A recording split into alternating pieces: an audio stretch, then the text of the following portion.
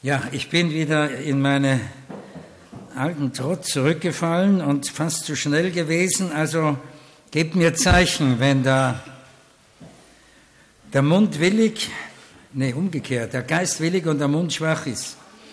Ähm, wir kommen jetzt zu Römer 4. Jetzt ergibt sich ja die Frage, ja, ist alles sehr einleuchtend, aber wenn man allein durch Jesus gerettet wird, wieso, wie war das dann vor Jesus? Also Paulus sieht wiederum jemanden vor sich und der gibt dann diesen Einwand, dass allein gerecht ist und gerecht mache den, der da ist des Glaubens an Jesus. Vers 26. Und nochmals das Kreuz entthront den Menschen. Und übrigens vom Standpunkt der Verderbtheit des Menschen, das Zeitalter der Nationen beginnt ja in Daniel Kapitel 2, wo ähm, Nebukadnezar da diesen goldene Standbild sieht. Und du bist das Haupt. Und Israel sollte ja das Haupt der Nationen sein. Aber es übernimmt den Götzendienst und so weiter.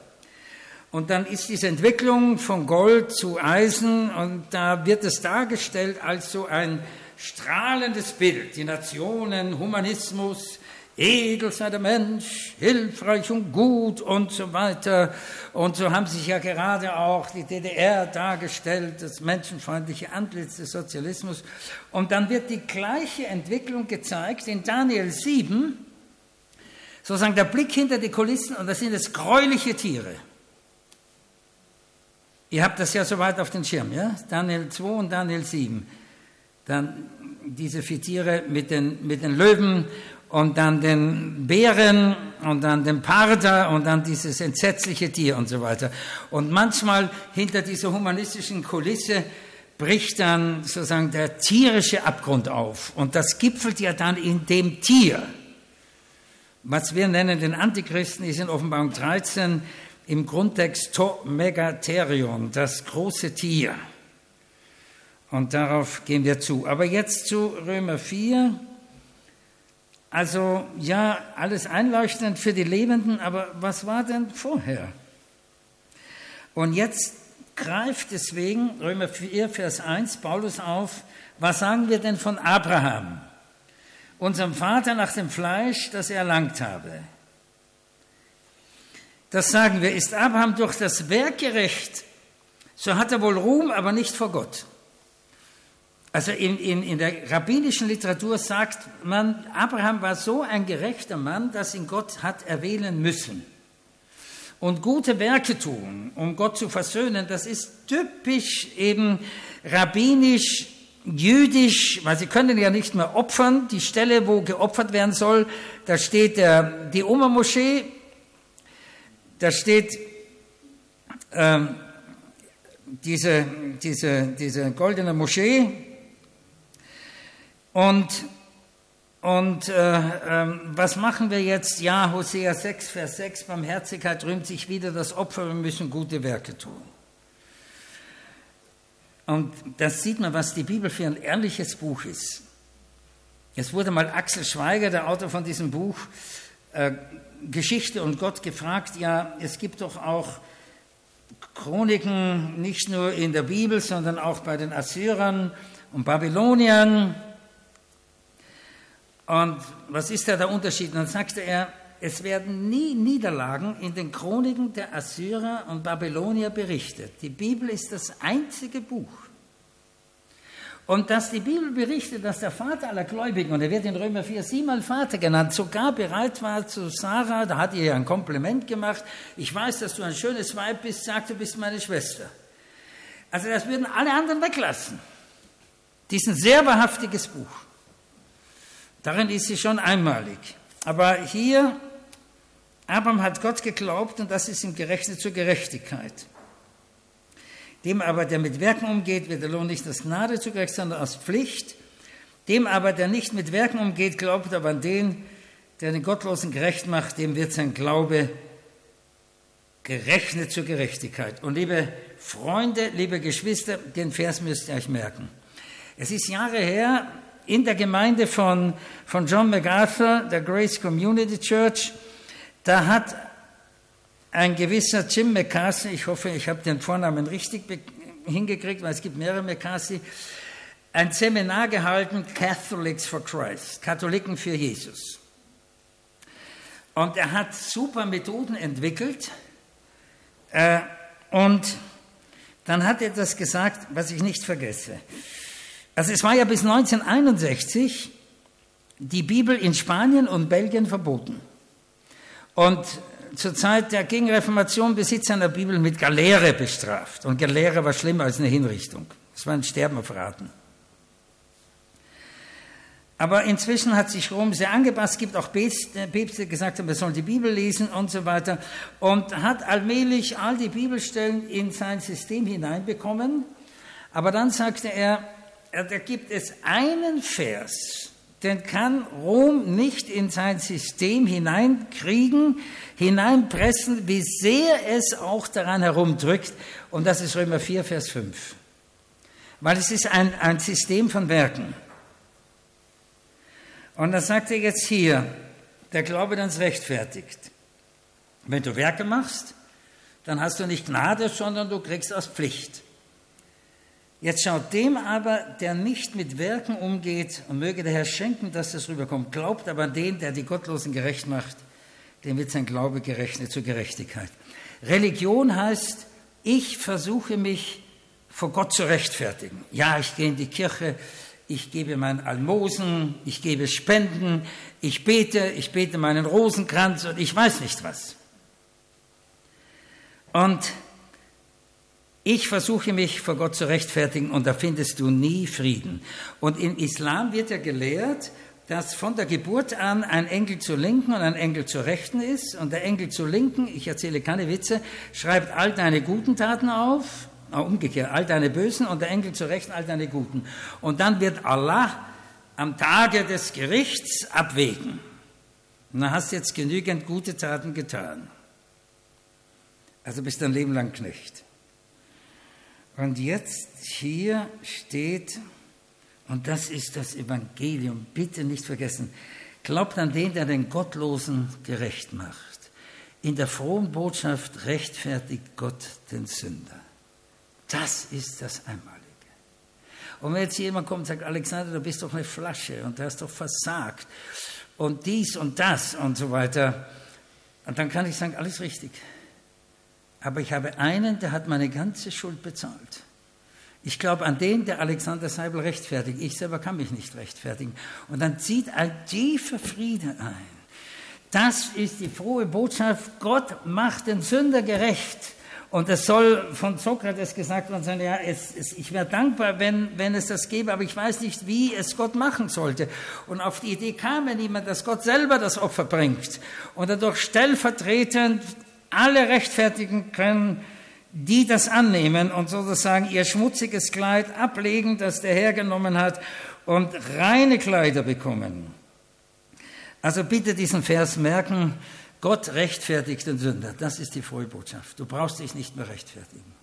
Und da hat zum Beispiel auch Hans-Peter Reuer gesagt, als er dann wirklich entschieden zum Glauben gefunden hat, und er hatte viele Freunde dort in, in Salzburg, und er sagte, wisst ihr, ihr seht, ist alles, was ihr von mir wisst, in Wirklichkeit ist alles noch zehnmal schlimmer. Aber Gott macht mich Gottlosen gerecht. Ja, und da merkt man, da hat jemand das Evangelium verstanden. Wenn er kommt, na, so schlecht bin ich ja nicht und so weiter. Also das ist hier ein ganz wichtiger Satz. Und jetzt kann man sagen, ja gut, lieber Paulus, ähm, das war Abraham. Aber Abraham war ja vor dem Gesetz. Aber dann haben wir ja mit Mose das Gesetz bekommen. Und jetzt haben wir ja eine andere Halszeit.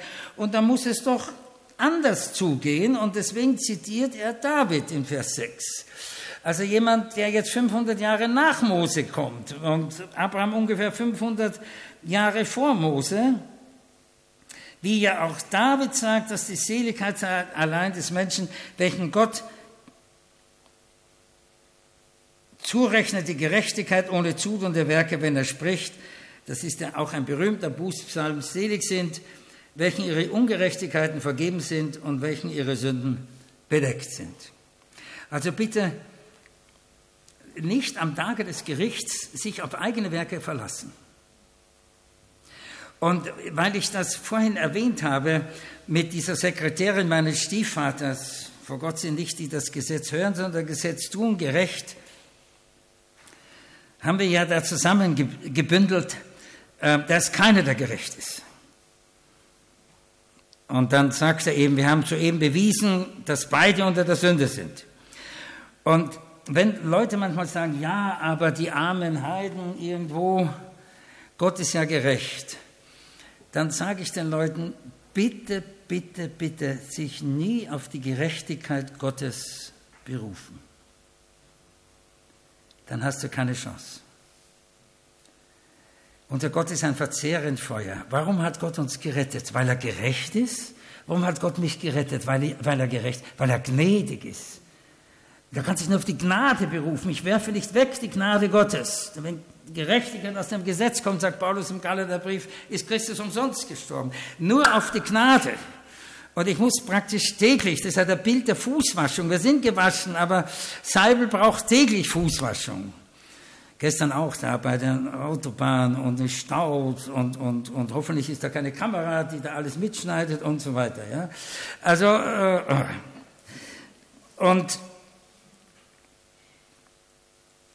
wir haben ja dieses Beispiel in der Bergpredigt, wo der Herr sagt, es werden viele zu mir sagen, Herr, Herr, haben wir nicht in deinem Namen geweissagt, Dämonen ausgetrieben, große Taten getan? Die berufen sich auf die Taten.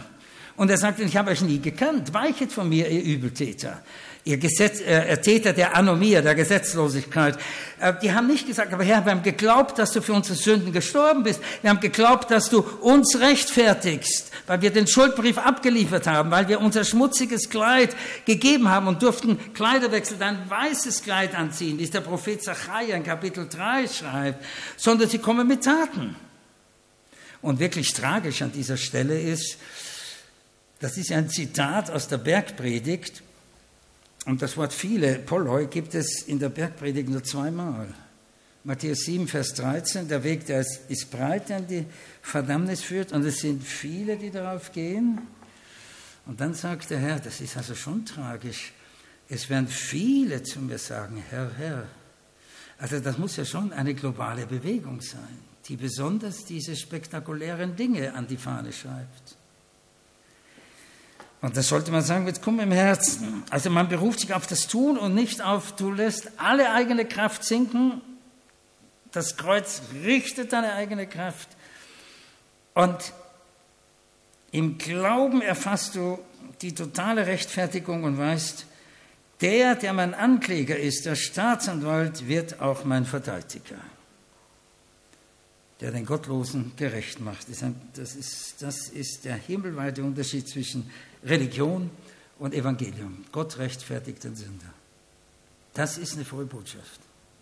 Aber wenn es keinen Sündenbegriff gibt, kann man ja damit auch nichts anfangen. Also er geht jetzt zu David, selig sind, welchen Ungerechtigkeit vergeben sind, welchen ihre Sünden bedeckt sind.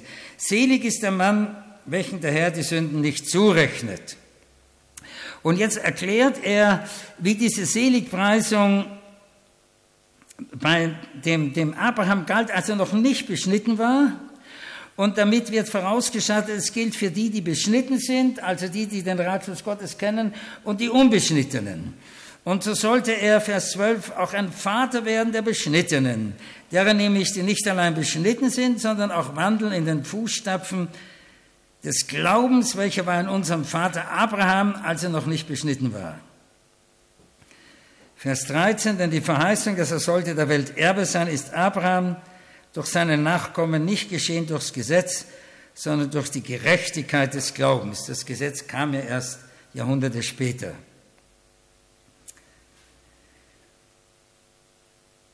Und jetzt, denn wenn die vom Gesetz Erben sind, so ist der Glaube nichts und die Verheißung ist abgetan, denn das Gesetz richtet nur Zorn an. Also, die mit den Gesetzeswerken umgehen, schreibt Paulus an die Galater, sind unter dem Fluch. Denn verflucht ist jedermann, der nicht alles hält, was in diesem Gesetz geschrieben steht. Also bitte nur auf die Gnade berufen. Aber ich darf euch sagen, wenn ein Mensch in die Gegenwart Gottes kommt, dann sagst du nur noch wehe mir. Und da verstehst du auch, warum Gott so ein, oder begreift in etwa mit dem Herzen, so ein Opfer zahlen musste. Es braucht einen ewigen, um dich da herauszuholen, dich zu retten. Und jetzt schaut, der halben Vers 16 muss die Gerechtigkeit durch den Glauben kommen, auf das sie sei aus Gnaden und die Verheißung fest bleibe allen Nachkommen, nicht denen allein, die unter dem Gesetz sind, sondern auch denen, die des Glaubens Abraham sind. Dieses uns aller Vater, wie geschrieben steht, ich habe dich gesetzt zum Vater vieler Völker, vor Gott, dem er geglaubt hat, der der lebendig macht die Toten und ruft dem, was nicht ist, dass es sei. Ja, Moment einmal. Wissen wir von einer Totenauferweckung zur Zeit Abrahams? Abraham tat kein Zeichen. Und es ist ja tatsächlich so, der Glaube, der durch alle Generationen Menschen gerechtfertigt hat, vor und nach Christus, du musst glauben, dass Gott Tote lebendig macht. Das ist das größte Wunder, weil du kannst manches in eigener Kraft, aber dass du ewig leben sollst. Jetzt gibt es zwar ein Unsterblichkeitsprogramm bei diesem World, äh, World äh, Economic Forum, Ray Kurzweil, man lädt auf Computer Bewusstseinsinhalte, man will sozusagen den Tod überwinden. Es ist ein Turmbau zu Babel, der da zum Teil abläuft. Aber da bist du mit deiner Kraft am Ende. Und wenn du sagst, ich habe ewiges Leben, dann hast du deine Kraft völlig losgelassen und traust dem, der Tote lebendig macht. Ja, aber Moment einmal, wieso, wo war das bei Abraham der Fall? Wieso ist er der Vater aller Gläubigen? Wieso ist das der Glaube, der in Abraham war und auch uns rechtfertigt? Also noch einmal, wenn ich an Moslem sage, ich habe ewiges Leben, dann denkt er, der Mensch ist furchtbar eingebildet und wie will er denn wissen, ob er genügend Werke getan hat? Wir wissen, wie es läuft. Der erste Johannesbrief sagt uns sogar, wenn wir das nicht wissen, machen wir Gott zum Lügner. Das ist hochinteressant. Und wieso hat Abraham geglaubt, dass Gott Tote lebendig macht? Ich habe dich gesetzt zum Vater vieler Völker vor Gott, dem er geglaubt hat, der da lebendig macht die Toten und ruft dem, was nicht ist, dass es sei. Und dieses Thema Tod, Leben kommt ja dann viel stärker in den nachfolgenden Kapiteln, das hier eingeführt wird. Und wo, wo, worin bestand das? Und hat geglaubt auf Hoffnung, da nichts zu hoffen war. Was soll das wieder heißen? Auf dass er wird ein Vater vieler Völker, wie denn zu ihm gesagt ist, so soll dein Geschlecht sein. Schaut, Abraham wurde ein Sohn verheißen. Naja, wenn du einem Pärchen, das frisch verheiratet ist, sagst, ihr werdet einen Sohn bekommen, da braucht man nicht unbedingt viel Glaube. Das ist ein ziemlich natürlicher Prozess. Aber dann wurde die Sarah unfruchtbar. Dann hat man leider versucht, mit besten Absichten, das heißt das nicht richten, mit besten Absichten, Deswegen nicht richten über die Motive, aber die Geister müssen wir prüfen. Alles müssen wir prüfen. Dann hat äh, versucht, Gott nachzuhelfen und da kommt ja dann der Ismael. Und dann wurde der Abraham unfruchtbar. Jetzt kann man sagen, so, also Abraham vergiss es, dann Glaube offensichtlich Illusion. Und jetzt kommt das Vorbild Abrahams, dass er sagte, nein, ich werde einen Sohn haben, egal was die Menschen denken, ich weiß, mein Gott ist wahrhaftig und was er zusagt, hält er gewiss und er hat meinen Sohn verheißen und das glaube ich. Und es gibt einen gewissen Slang, so sagt es Francis Schäfer im Englischen, da bezeichnet man den erstorbenen Leib einer Frau mit einem Coffin, also mit einem, einem Sarg. Und Abraham war erstorben und jetzt war Abraham vom Standpunkt der Fruchtbarkeit ebenfalls erstorben und jetzt stand nur noch die Verheißung da. So ähnlich wie der ist gestorben, sichtbar, der andere ist gestorben und jetzt sollen wir glauben, dass wir ewig leben werden. Was haben wir da? Haben wir da was Sichtbares? Und jetzt der Glaube Abrahams. Er war nicht schwach im Glauben. Jetzt ist ganz wichtig, das muss sich Seibel selber auch sagen, sah auch nicht an seinen eigenen Leib, welcher schon erstorben war, dass man auf sich schaut. Was? Diese, diese, diese Arbeitsverbindungen, dieser Korpus weniger delicatus soll ewiges Leben haben, soll ewig leben, geht ja gar nicht. Und zur Auflockerung, ihr kennt den Verfallssatz von Heinz Erhard, die zweiten Zähne wurden schlecht und man begann sie auszureißen, die dritten kamen gerade recht, um damit ins Gras zu beißen. Und Verfall, der Leib ist nicht erlöst. Und dann gibt es noch diesen Spruch, das Alte ist ein schlimmes Haus, viel beginnt zu wanken, dem einen gehen die Haare aus, dem anderen die Gedanken. Mir geht derzeit beides aus, Randbemerkung, kannte mal locken. Oh. Und, und, und äh, was, du willst ewig leben, schau dir mal an, wie du aussiehst und so weiter.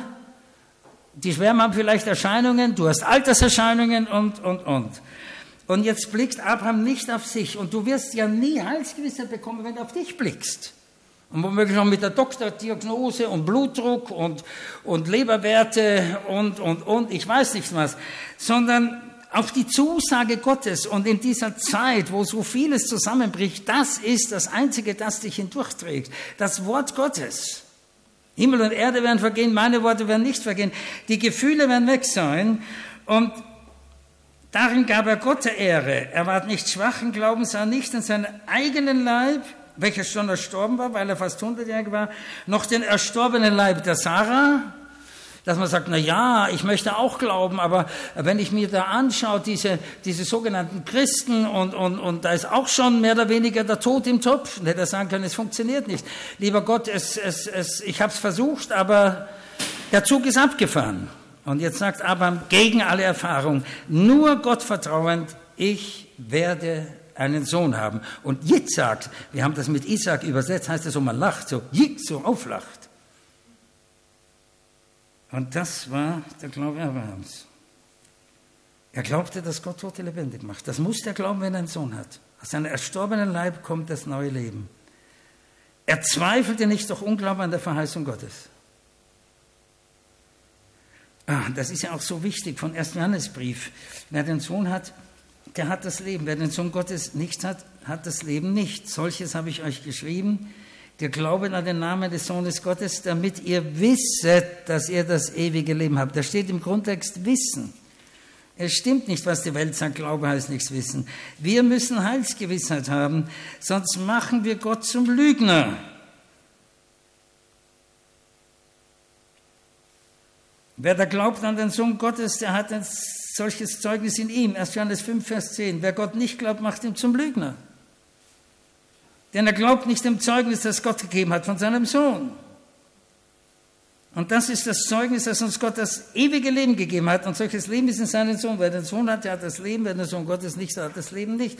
Und ich komme ja so aus, aus damals noch als Student, auch aus einer relativ konservativen Hochschule. Viele waren katholisch, prächtige Menschen. Und du glaubst an Jesus, ja. Hast du ewiges Leben? Kann man nicht wissen. Und versteht ihr, jetzt sagt der Herr Jesus, ich bin die Auferstehung und das Leben. Wer an mich glaubt, wird leben, aber gleich stürbe. Und wer leben und glaubt, ich werde niemand mehr sterben. Jetzt sagen die Leute, ich glaube an Jesus. Hast du ewiges Leben? Kann man nicht wissen. Was heißt das? Du machst ihn zum Lügner. Ja, lieber Gott, hast zwar gesagt, wer an mich glaubt, hat das ewige Leben, so steht es auch in Johannes 6, Vers 38 oder 37, aber mm, kann man nicht wissen.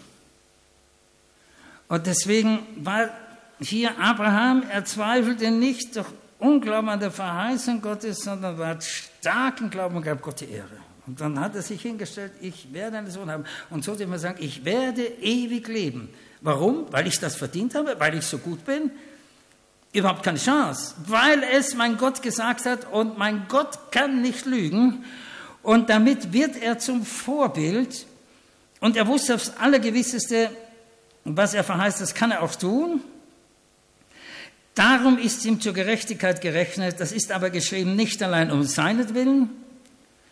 dass es ihm zugerechnet ist, sondern auch um unseren Willen, welchen es soll zugerechnet werden, wenn wir glauben an den, der unseren Herrn Jesus von den Toten hat auferweckt. Seht ihr, und Gott hat dann in Jesus gezeigt, dass er sichtbar Tote lebendig macht, welches um unser Sünde willen dahingegeben und unserer Rechtfertigung willen auferweckt. Also zu allen Zeiten wurden Menschen gerettet durch den Glauben an den Gott, der Tote lebendig macht und das hat er dann in Jesus sichtbar demonstriert. Und ein anderes einmaliges Beispiel ist Hesekiel 37, die Totengebeine. Das werden wir dann morgen auch erwähnen. Und das, da war dieses Totenfeld. Und dann stellt Gott die entscheidende Frage, meinst du, dass diese Gebeine wieder lebendig werden? Und hätte man euch am Ende des Zweiten Weltkriegs oder 45, 46 gesagt, Israel wird auferstehen als Staat, und wo ja dann diese KZs und die Leichen und all das Entsetzen ans Licht kam, geht nicht. Gebraucht einen Verstand unmöglich.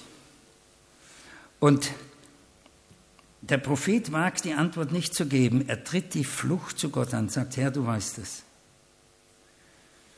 Und Gott zeigt an Israel, er macht Tote lebendig.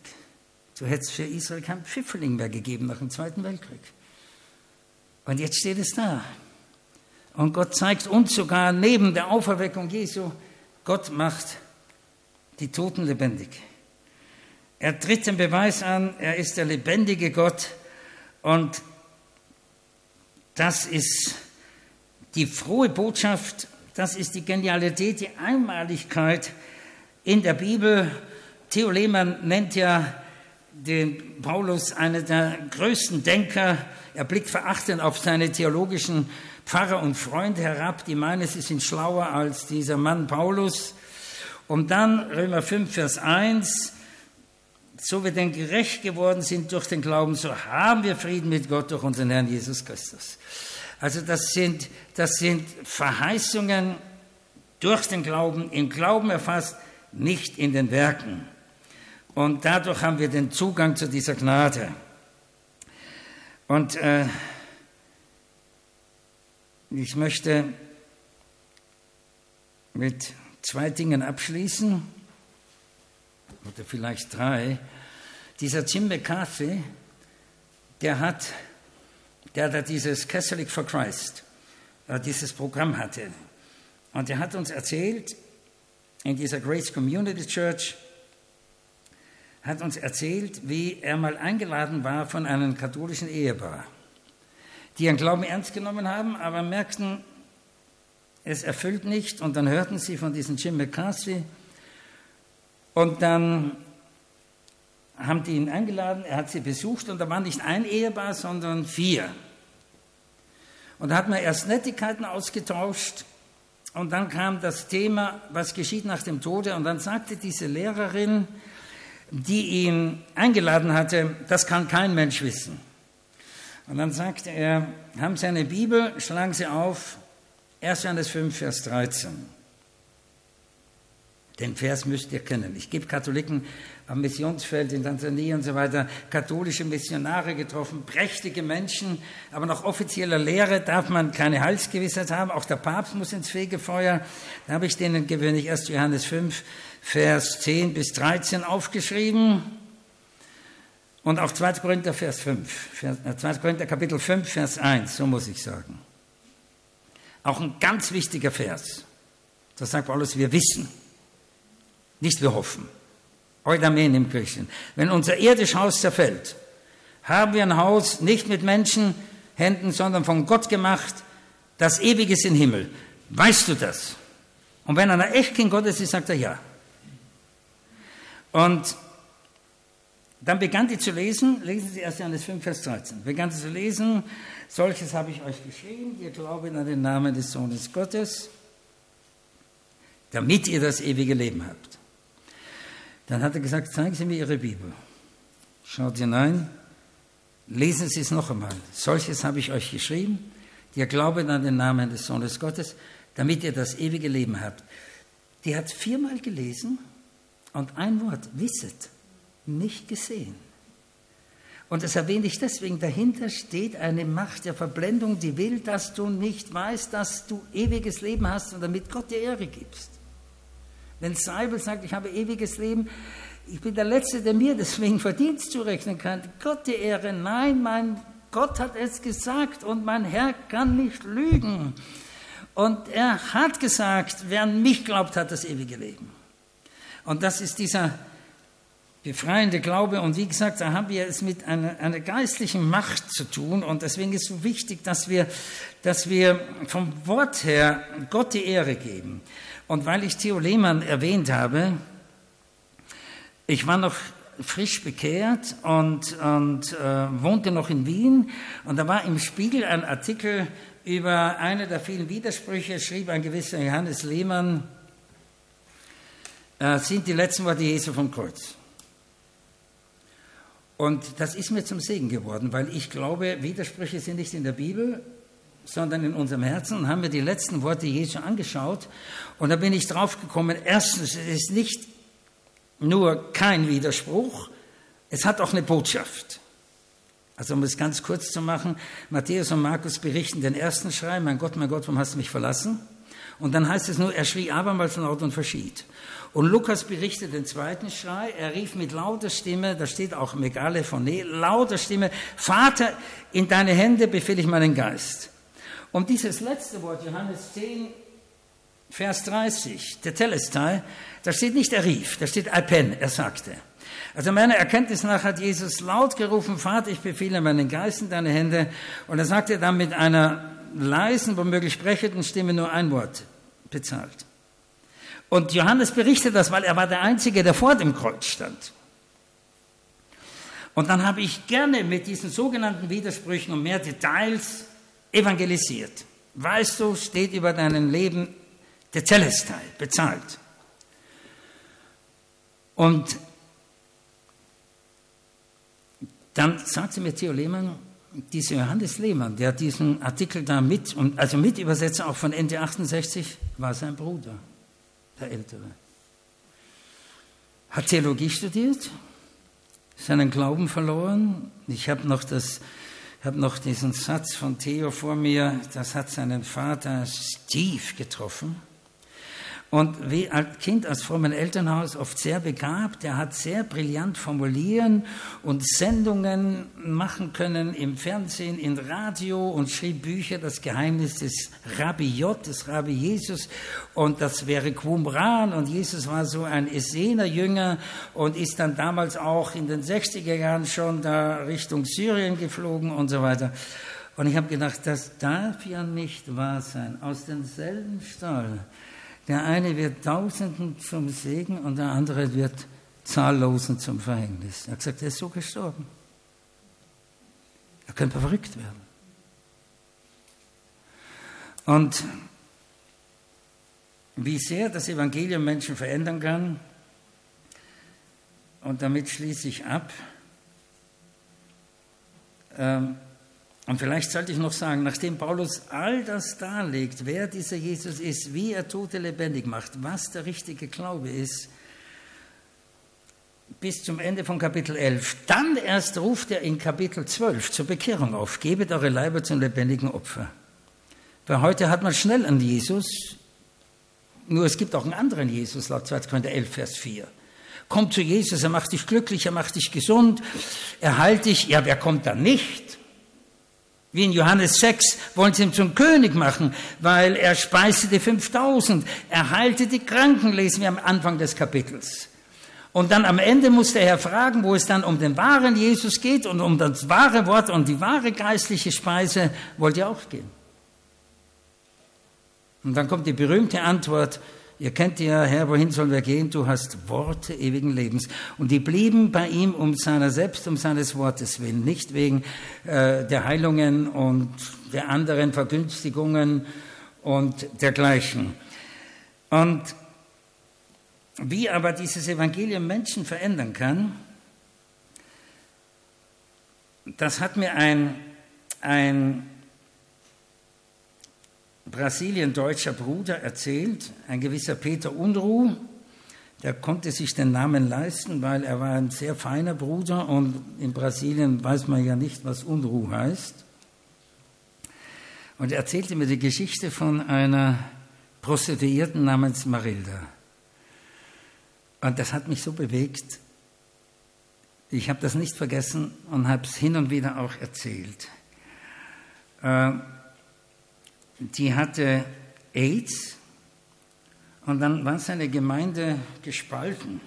Ein Teil sagte, das ist so schmutzig, damit haben wir nichts zu tun.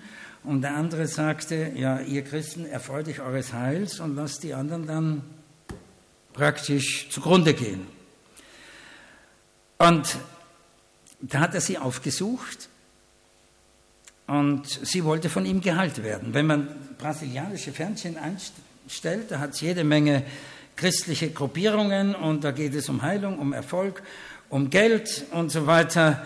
Die schnellst wachsende Egregio Universal, der Reino de Deo und da, da, der Begründer Bisco Macedo war vorher Lotterielosverkäufer und ist jetzt Multimillionär. Ist praktisch der reichste Mann von, von Brasilien geworden und du hast die gleiche Möglichkeit, also Geld, Erfolg und so weiter. Ähm, ein, ein reines Wohlstandsevangelium. Und sie wollte von ihm geheilt werden. Dann hat er gesagt, du wirst sterben. Darauf hat sie ihn rausgeschmissen.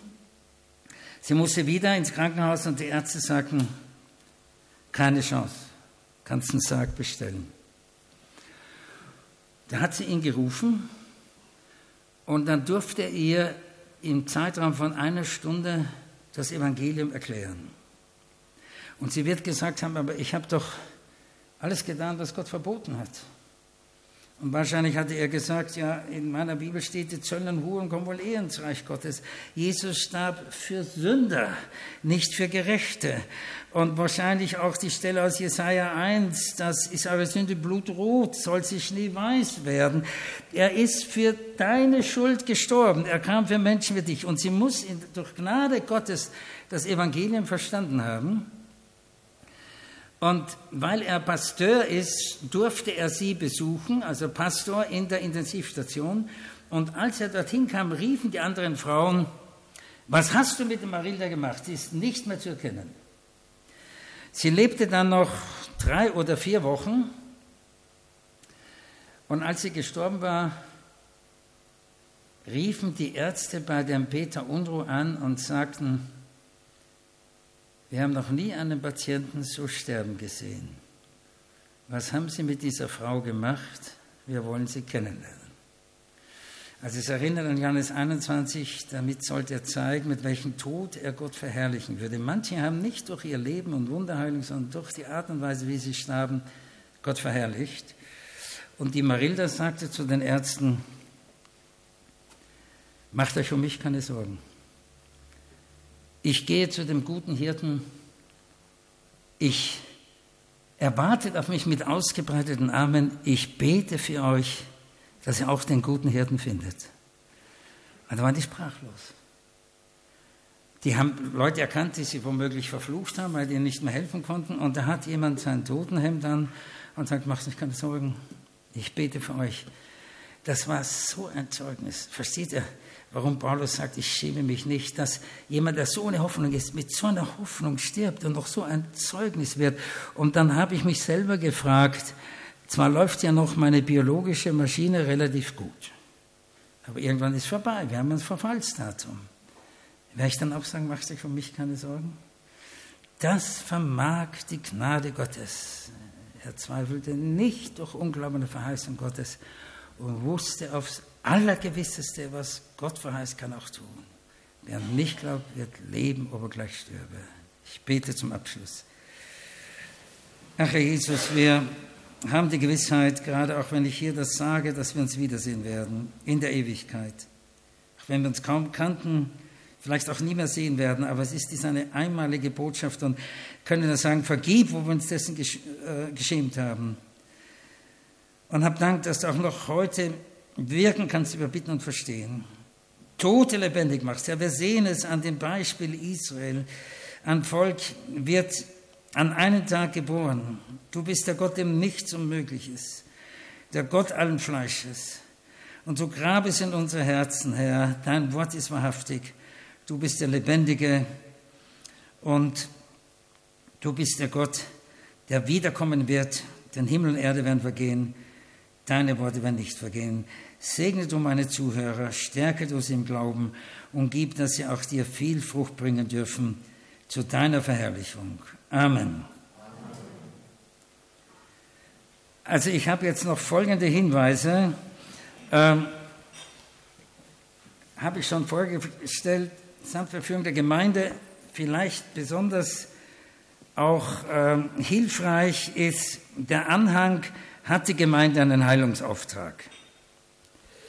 Äh, viele sagen, ja, wir sollten mehr Glauben haben, mehr Vollmacht, dann würden Leute auch gesund werden. Nun, dass Gott heilen kann, das ist keine Frage. Und auch der brillante Mann William Auvenil, wer kennt übrigens den Namen? Ein Jahr jünger als ich, der ist ja, ähm, der hat mir noch die Zusammenhänge erklärt über, über am Ende der Tage, warum eine Bewegung kommt, die aussieht wie die Urgemeinde. Und der ist dann diesen Tibi Joshua, ich muss jetzt so sagen, auf den Leim gegangen der jetzt mit Schimpf und Stande gestorben ist, ist ans Licht gekommen, sexueller Missbrauch und so weiter. Und, und äh, der hat ein Buch geschrieben, Halte Kranken. Und da zitiert er Lukas 10, Vers 10. Und da steht tatsächlich Therapeute, Imperativ Plural, also Befehlsform, zweite Person. Und auch Matthäus 10. Da steht ein Befehl. Nur da war Jesus noch unter seinem Volk. Das ist noch der alte Bund. Und das hat dann doch vielen geholfen und das ist ja kaum vorhanden, dass man einen Überblick hat. Ähm, Im Alten Testament wird das Heil angekündigt. Es beginnt mit 1. Mose 3,15. Er wird dir den, den Kopf zertreten, dieser Übermensch, der da kommt. Und Jesaja 53 und so weiter. Im den Evangelien wird das Heil vollbracht. Also im Alten Testament angekündigt, in den Evangelien verbracht, in der Apostelgeschichte verkündigt, in den Briefen erklärt und in Offenbarung vollendet. Dann wird kein Schmerz, kein Leid mehr sein und so weiter. Gott wird abwischen alle Tränen. Und in den Briefen haben wir keinen Befehl mehr. Wir sollen beten für die Kranken. Und der Herr sagt auch in dieser berühmten Rede, scharfe Böcke, ich war krank und er sagt nicht, er hat mich nicht geheilt, er hat mich nicht besucht. Und da waren einige Leute wirklich total empört, eigentlich Peter Hane, dass die Kirche hier versagt hat, als man wegen Lockdown-Maßnahmen, die ja reines Politikum war, wie man inzwischen weiß, auch verboten hat, Kranke zu besuchen. Und Einsamkeit ist der größte Killer. Er sagt, das haben nicht einmal die Nazis gemacht. Ja? Ähm, also das hat vielen geholfen, weil sie dachten, ich, und, und da hat sogar Joyce Meyer zugegeben, äh, sie sagt das jetzt so nicht mehr, wenn eine Mutter zu ihr kommt und ihr Kind ist krebskrank, dann hat sie früher gesagt, du hast zu wenig geglaubt. Aber dann zitiert sie, der da dem ruft, was nicht ist, dass sie sei, das praktiziert, praktiziert sie jetzt, aber das ist Gott. Gott nur kann dem, was nicht sei, rufen, dass es wird. Nicht Alexander Seibel. Also da hat man auch ein Durcheinander. Also das ist hier erklärt und dann, hier habe ich ein Exemplar und da berichtet Wolfgang Bühne, hast du es gelesen? Wie er Alexander Seibel kennenlernt. Ich kann mich noch genau erinnern, in Winterthur, das muss, das muss, das muss 76 gewesen sein oder so. Und dann sagte er, und das seht ihr, ihr könnt für mich beten, also hat sich wenig geändert, er überschüttete mich mit Informationen, mir rauchte der Kopf. Ich komme mehrmals vor, aber hier wäre ich gleich richtig erkannt. Ähm, und das Letzte, was ich hier noch anbiete, ist, oder wo ich besondere Reklame mache, ist Peter Hane, ist das ernst? Er ist ja ein brillanter Rhetoriker. Und das Buch ist so beliebt, weil er spricht das aus, was die meisten denken, aber sich nicht mehr inzwischen trauen zu sagen. Eine Umfrage hat gezeigt, mehr als 50 Prozent der Deutschen haben eine Schere im Kopf, äh, weil sie ihr ihre Meinung sich nicht mehr trauen, öffentlich zu sagen. Und da schreibt Wolfgang Bühne zu diesem Buch von Peter Hane, Unsere ganze Kultur droht zum Spiegelbild dieses versifften Lebensspiels zu werden. Wie viel geistigen Müll müssen wir sehen, hören von den Kanzelkathetern und so weiter. So treffen sich, wie so manches Mal in der Geschichte, Idiotie und Ideologie. Er erklärt es als den Privatmann und verbünden sich zu einer neuen Abschaffgesellschaft dem Grundgesetz und der Gerechtigkeit gegenüber. Also, äh, der, ähm, neuen Abschaffgesellschaft, weg mit der Freiheit der Sprache und der Kultur, weg mit dem Grundgesetz und der Gerechtigkeit, weg mit Gott und seinen Geboten. Wir schaffen das. Wir haben ganz oben im Staat die weltweit schaffenfreudigsten Abrissbirnen.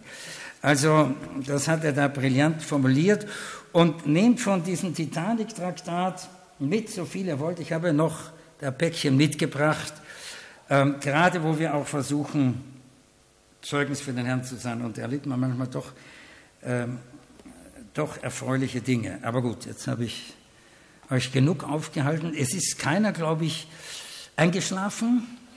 Und ich habe in dem Sinne Paulus übertrümpft, weil bei dem fiel ja jemand gleich aus dem Fenster raus.